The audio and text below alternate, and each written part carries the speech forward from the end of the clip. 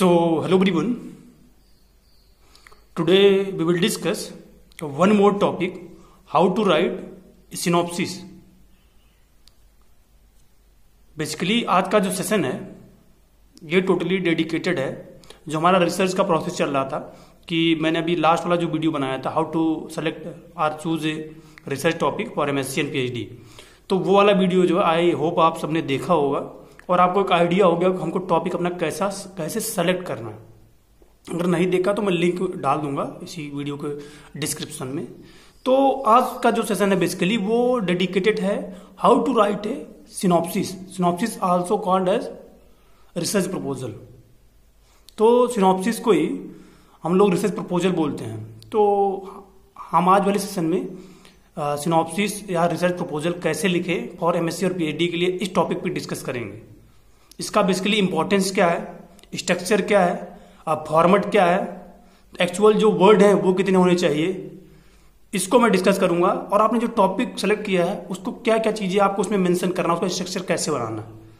तो इस वीडियो को मैं स्टार्ट करने से पहले फ़र्स्ट ऑफ़ ऑल अपना इंट्रोडक्शन देना चाहूँगा। This is Vishal Yadav and currently I am a P scholar department of extension education Kumarganj Ayodhya. I hope थोड़ा बहुत आप ब्रीफ मेरे चैनल के बारे में चैनल से मेरे बारे में जानते होंगे तो लेकिन थोड़ा सा आज का सेशन है। काफ़ी जो अभी फ्रेशर स्टूडेंट हैं, चाहे वो पीजी में एडमिशन लिए, चाहे पीएचडी में एडमिशन लिए, चाहे वो कॉलेज के हों, चाहे यूनिवर्सिटी को, सबको डेडिकेट जो मेरे वीडियो रहते हैं मोस्टली सबको डेडिकेट रहता है, चाहे वो कॉलेज का स्टूडेंट हो, चाहे वो यूनिवर्सिटी का स्टूडेंट हो। तो स्टार्ट करते जैसे क्या पहले हमारा क्या होता है importance basically synopsis or research proposal का इंपॉर्टेंस क्या है? तो देखिए जो सिनॉप्सिस आर रिसर्च प्रपोजल का इंपॉर्टेंस ये है कि आ, कहीं भी अपना आप मास्टर कर रहे हैं या पीएचडी कर रहे हैं तो पार्शियल फुलफिलमेंट के लिए या डिग्री आपको करने के लिए पार्शियल फुलफिलमेंट के लिए आपको रिसर्च करना होता है। अपने मास्टर में मैं एग्रीकल्चर स्टूडेंट की बात कर रहा हूँ अदर डिसिप्लिन को भी करना होता है बट उनको मैं यहाँ नहीं डिस्कस करूँगा।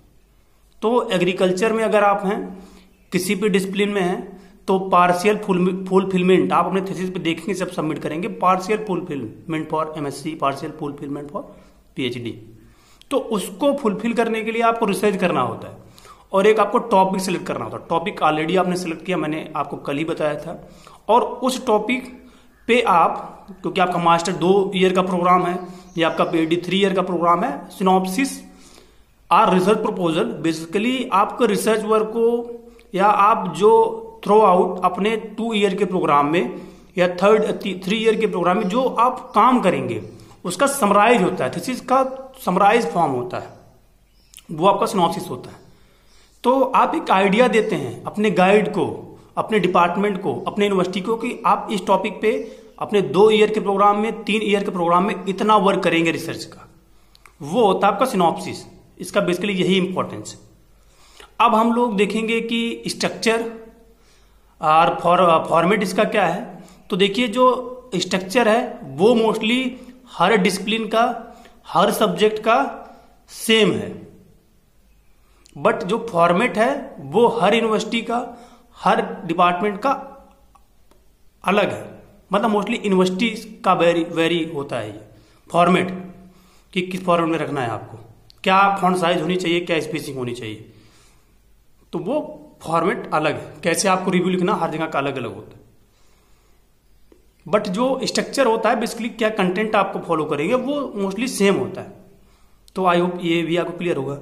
अगर हम दो, लोग देखें जो एक समराइज प्रपोजल जो हमारा हमारा होना चाहिए, या एक समराइज सिनॉप्सिस जो होनी चाहिए, वो लगभग कितने पेज की होनी चाहिए, या कितने वर्ड्स की होनी चाहिए तो जो आपकी समराइज प्रपोजल है, या सिनॉप्सिस है, वो अगर देखा जाए, एक जो बेस्ट या अप्रोप्रिएट माना माना जाता है, वो one thousand to four thousand मतलब मिनिमम वन थाउज़ेंड आप वर्ड रखो मैक्सिमम आप फोर थाउज़ेंड वर्ड रखो, क्योंकि आप समराइज आपको देना अपना रिसर्च को, ये नहीं कि आप बीस पेज का सिनॉप्सिस बना के दे दिए, पच्चीस पेज का, कोई मतलब नहीं।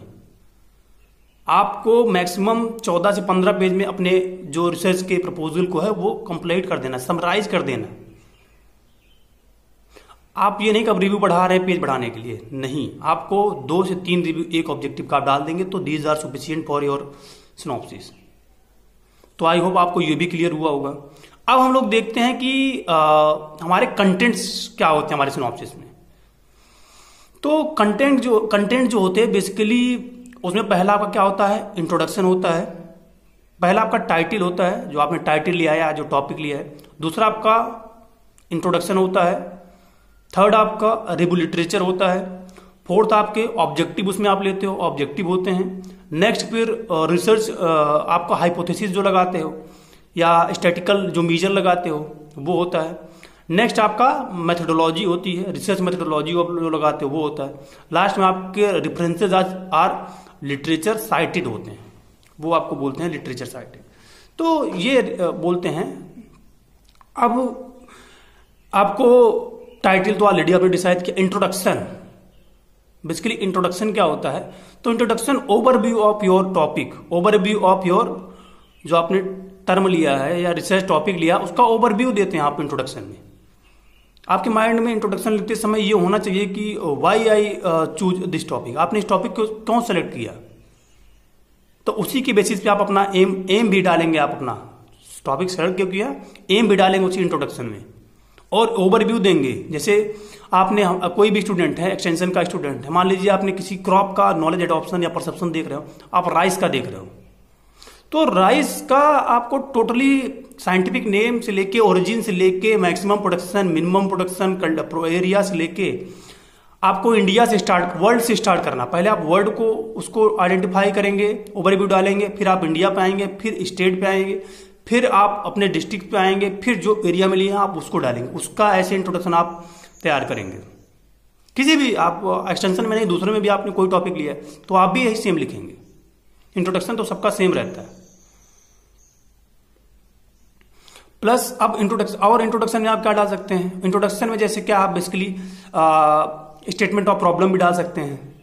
इंपॉर्टेंस ऑफ़ द स्टडी डाल सकते हैं। उसी में आपको डालना है। आपने टॉपिक कौन सेलेक्ट किया है? ये आपको उसमें डालने हैं। एम क्या आपके रिसर्च का? वो आप इंट्रोडक्शन में डालते हैं। दो दो, तीन तीन पॉइंट में। तो ये बेसिकली इंट्रोडक्शन है। और इंट्रोडक्शन आपको कहाँ से लिखना है? ये भी होता है माइंड में। तो इंट्रोडक्शन जो आपको, वो आपके डिफरेंट रिसर्च पेपर आपके डिसिप्लिन के हैं। वहाँ से आपको लिखना है। या आप कहीं बुक से भी लिख रहे हैं तो उसको आप डालेंगे रिफरेंस में लिटरेचर साइट में रिव्यू लिटरेचर में। तो ये इंट्रोडक्शन ऐसे आपको लिखा जाता है। आई होप आपको इंट्रोडक्शन क्लियर हुआ होगा। आप फॉर्मेट अपनी यूनिवर्सिटी का देखिएगा और आपको आइडिया लग जाएगा। इंट्रोडक्शन में यही चीज़ ओवरव्यू आप देते हैं जिस टॉपिक का वर्ड से स्टार्ट करके वो स्टार्ट करते हैं। लास्ट अपने जहाँ आपका लोकेशन ऑफ़ द स्टडी वहाँ तक लेके जाते हैं। उसका साइंटिफिक नोम क्या है, कितना क्या कंट्रीब्यूट कर रहा है नेशनल इनकम में वगैरह, ये सब आप डालते हैं। नेक्स्ट आपका आता है review of literature second review of literature basically जो होता है, वो होता है आपका प्रीवियस में पास्ट और प्रेजेंट में, जो उस टॉपिक से रिलेटेड जो रिसर्च हो चुके हैं, जिनकी सहायता से आप अपना रिसर्च आगे बढ़ाओगे, जिनके हेल्प से, उनके रिसर्च को थोड़ा सा देख के, वो आपका लिटरेचर साइटेड होता है।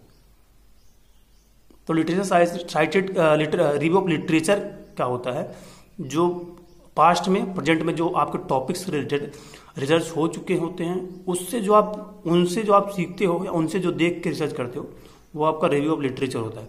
इसलिए लिखा जाता है। जैसे आप किसी का रिसर्च पेपर पढ़ोगे, उसमें से आपने इंट्रोडक्शन लिखा तो उसका लिखोगे, जैसे मेरा पेपर पब्लिश है अभी एक्सटेंशन में एक।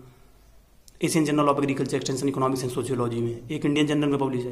तो यादव एटाल मतलब यादव एटाल फ़र्स्ट मेरा था एटाल जितने भी आथर उनका आप नाम करके लिख दोगे। टॉपिक का नाम लिखोगे। पेपर का नाम रहेगा। फिर जनरल का, का नाम आप लिखोगे किस जनरल में है।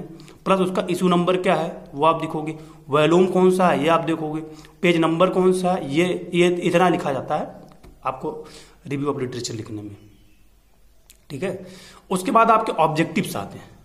ऑब्जेक्टिव ही आपके रिसर्च का सबसे मेन होता है, क्योंकि आप उन्हीं पे वर्क करते हो।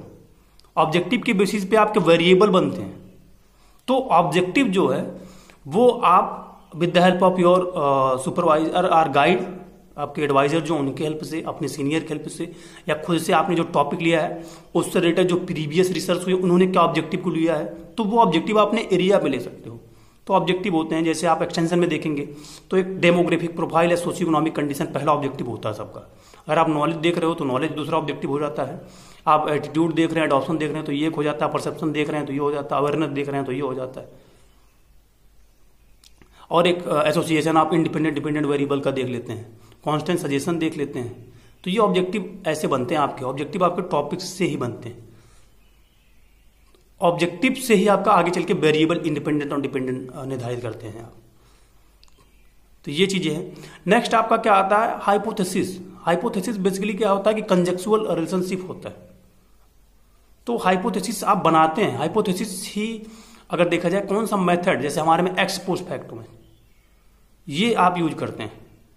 तो ये हाइपोथेसिस ओवरऑल रिसर्च का कंजेक्चुअल रिलेशनशिप है। डिफरेंट जो वेरिएबल उनके बीच का। उनको कैसे आप मेजर करो करोगे? ये आप दिखाते हो।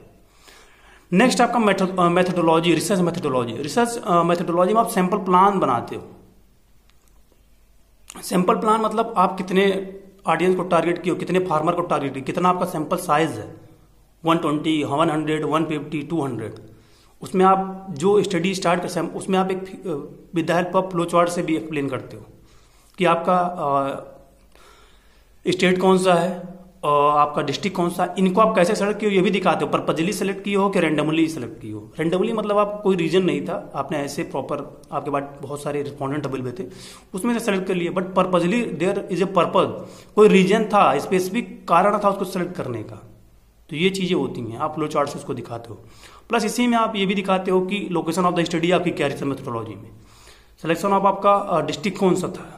वही। ब्लॉक आपने कौन सा सेलेक्ट किया? ब्लॉक आप, अगर वाले जाएँगे तो आपने फ़ील्ड कौन सा सेलेक्ट किया? Selection of the location of the study आप एग्रोनॉमी किसी भी सब्जेक्ट में तो आपका एम फार्म e होता है। फिर एक्सटेंशन वाले जाए ब्लॉक और विलेज रिस्पॉन्डेंट तो आपका क्रॉप होती है। वेरिएबल हमारे एक्सटेंशन में हम लोग पढ़ते हैं, आप लोग ट्रीटमेंट चेक करते हो। तो यही डिफरेंस बस इतना ये मेथडोलॉजी होती है। स्टेटिकल एनालिसिस जो होता है, वो आपका हाइपोथेसिस में ही आता है। और लास्ट में आप रेफरेंस डाल देते हो, जिसको लिटरेचर साइटेड बोलते हैं। ये क्या होते हैं कि हर के जितने भी आपने मैटर लिखे सबके रिव्यू लेते हैं। जहाँ से भी थोड़ा भी मैटर उठाया, उसको आप डाल देते हैं रेफरेंस में। अब आप पीजी फ़र्स्ट ईयर या पीएचडी फ़र्स्ट ईयर के स्टूडेंट होंगे। पीजी पीजी फ़र्स्ट ईयर के ठीक है, आपको नहीं आइडिया होगा, लेकिन सेकंड ईयर पीएचडी पीजी के होंगे या पीएचडी फ़र्स्ट ईयर के होंगे तो आपको आइडिया होगा कि रिव्यू ऑफ़ लिटरेचर और रेफरेंस कैसे लिखा जाता है। अगर इतना आइडिया नहीं है आप पीएचडी फ़र्स्ट ईयर में तो ये चीज़ें आपको सीखनी चाहिए। एम फ़र्स्ट ईयर का स्टूडेंट है जो, आप एक दो थेसिस पढ़ो, एक दो सिनॉप्सिस पढ़ो, आप देखो कैसे रिव्यू लिखा गया है।